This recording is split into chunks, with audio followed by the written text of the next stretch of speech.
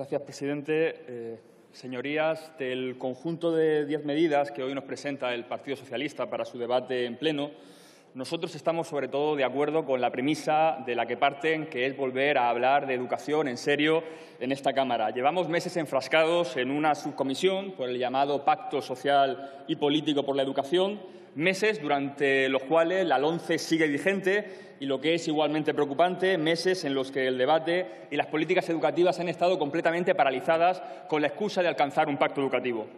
Esta subcomisión para el pacto educativo fue creada, como le gusta decir como le gusta recordar a la portavoz de Ciudadanos, sin nuestro concurso y con nuestra posterior abstención. Es verdad que nosotros llegamos a esta Cámara con la promesa electoral de derogar la LONCE y nuestra propuesta era la derogación definitiva de la Silencio, señorías. y no una prórroga de un año como, como llevamos. Y es cierto que seguimos siendo muy reticentes con este proceso porque para nosotros el único pacto educativo que tiene sentido es el pacto con la pública. Es el pacto con la pública porque el problema que tenemos en este país en materia de educación es el estado de abandono en el que se encuentra la red pública y sus docentes. Y es el pacto con la pública porque creemos que el derecho a la educación, el artículo 27, se consigue con una red pública como la red principal, protagonista y vertebradora de todo el sistema educativo. También llevamos meses eh, señalando que cualquier pacto en el que no se blinde el presupuesto destinado a la educación será eh, simple y llanamente un fraude. La misma OCDE, cuyas recomendaciones le gusta tanto recordar al Gobierno, calcula que la inversión base en educación debe ser un 7%. Es algo que también han señalado, además, la mayoría de comparecientes en la subcomisión y que incluso el Partido Popular en algunas ocasiones le daba, le daba la razón. Sin embargo, no podemos olvidar que en los últimos presupuestos generales del Estado eh, hemos visto eh, bajar la inversión del 4,6% al 3,7% del PIB, situándonos una vez más en el furgón de cola europeo. Somos los primeros, pero por la, pero por la cola.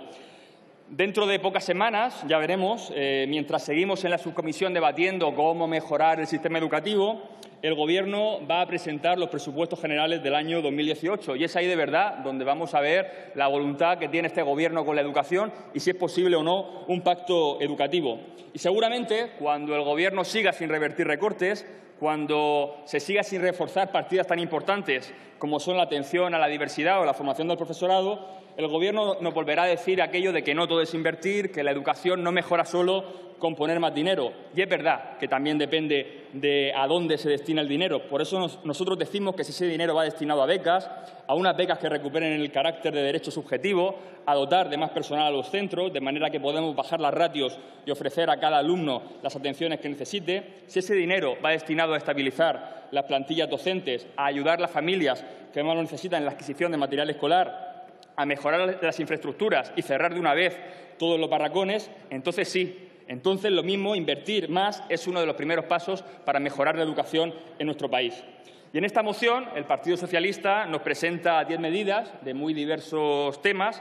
Entendemos que con la intención de abarcar lo máximo posible para marcar posición de cara a este principio de, curso y nosotros anunciamos que vamos a votar que vamos a votar que sí a esta moción. Nos parece razonable.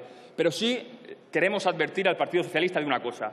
Y es que la comunidad educativa que se movilizó, contra la ONCE, la marea verde, las miles de familias, de alumnos, de profesores, esperan de nosotros quiero decir, de Partido Socialista y de Podemos, algo más que un acuerdo de mínimos con el Partido Popular. Ustedes saben que se necesita una política educativa completamente diferente y que necesitamos volver a situar en el centro el debate de los problemas y necesidades de una red pública que debe ser garantía de equidad y cohesión social. El otro día leía un dato que no nos puede pasar desapercibido. Según las principales centrales sindicales, durante los años de la crisis, la inversión pública la inversión en la red pública educativa cayó 16 puntos, mientras que la ah, inversión en la red privada subvencionada subió 3. Este dato no nos debe pasar desapercibido porque parece que ese mantra de que solamente por poner dinero no mejora la educación, el Gobierno solo se le aplica a la pública, nunca se le aplica a la concertada.